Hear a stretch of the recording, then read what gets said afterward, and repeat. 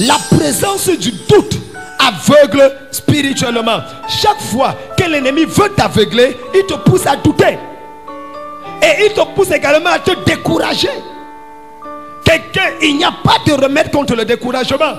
Quelqu'un qui est découragé ne prie plus, ne lit plus la Bible parce qu'il est découragé. Il n'espère même plus.